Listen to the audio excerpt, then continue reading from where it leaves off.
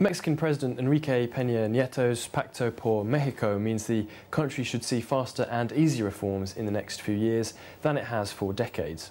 With me is Carlos Hank Gonzalez, President of Banco Interacciones, to discuss the impact on the country's economy. Carlos, welcome. Thank you, Nick. Tell us about the reforms and how they've affected Mexico's economic performance. The recent reforms, well, first of all, let me tell you that uh, the reforms are now creating a lot of uh, excitement in Mexico because it can really make a big breakthrough for the country. The recent reforms that have been made already, two of them are the most important. First, the, the education reform, which can be a big change for Mexico in the long run. We needed that for a long time, and I think it was a very good uh, choice by the President Peña. So I think it'll be a big game changer in the long run. And the second reform, which should have results very fast, is the banking reform. And it's mainly focused into having better credits, better loans for the people, for the businesses, and at, at cheaper prices. And as you know, if banks are lending, it's a growth for, for the country. So we're, we're expecting big things, and we should have also other reforms passed uh, during the year, which should really set a big, bigger growth rate for Mexico. And if we look at the banking reform in some more detail, what is this hoping to achieve? What it's hoping to achieve is what I was telling you, is to achieve more loans at a cheaper price. And what the, the government is doing is, through the government, what they're trying or proposing to is to give like uh, guarantees to the banks in order for the banks to make safer loans and we have to make those credits cheaper. So the result, what we're looking for, is for the businesses, for the people to be able to get better, better choices of loans, better choices of credits, and at a better prices. So what other challenges are Mexico's banks facing today? We're facing many challenges. As you know, uh, the Mexican banking uh, industry is still at a very aggressive growing rate. We have very safe banks for example, we're ready to go into Basilea 3. We have very good balance sheets in all, most of the banks.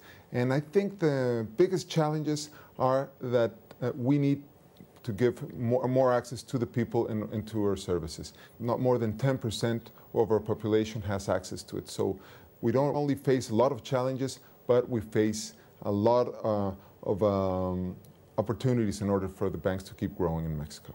The President has also announced a $300 billion program of infrastructure investment over the next six years. So why is this needed? Very important. I think infrastructure is the key for a country to stay co uh, competitive.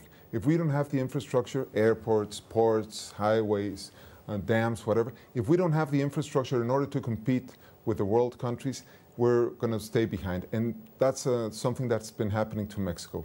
If we look at Mexico, the position that it holds in the world economically, we are way far behind in the position that we hold in infrastructures investments. So I think the announcement that the president made is something that has us very excited in Mexico. $300 billion in investments will do a lot, not only for air, he talked about airports, about new ports, about getting better highways, and that should make uh, Mexico more competitive for sure.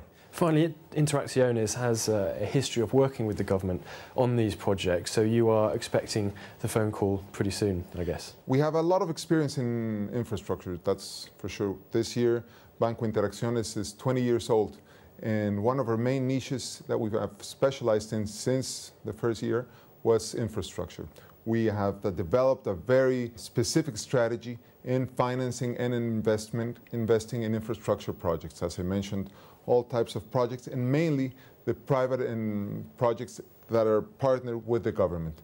We did, for example, last year we financed the first PPP project, which is private and government uh, projects, uh, which financed a museum, for example, which is the first time that that has been done in Latin America. So we're very excited about what the President has uh, announced. We are ready for the challenge and we're willing to work with Mexico on that. Carlos, thank you. Thank you very much, Nick. It's been a pleasure.